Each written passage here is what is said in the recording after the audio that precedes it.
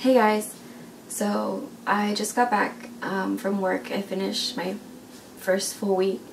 Um, I'm a waitress and I kind of wanted to make this video to complain to you guys because so much crazy stuff has been going on at work that even though it's only been a week I'm really thinking about quitting.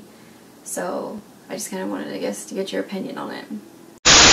So the bar is in a small place, it's, you know, small town.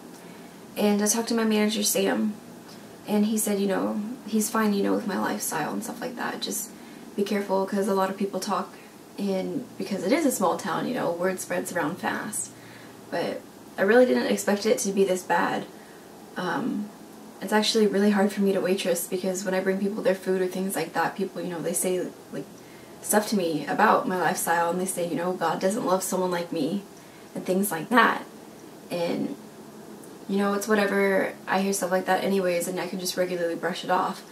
But most nine nine times out of ten, uh, people won't even tip me after saying stuff to my face, like.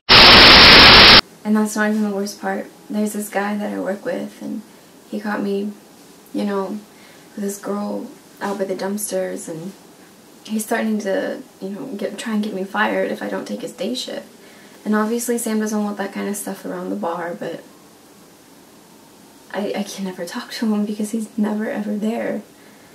I don't know. Maybe I can talk to this girl Jessica about it because I think she's in the same boat as me, but as far as that guy goes, I don't know what I'm gonna do. You know what? Screw it. I'll kill him.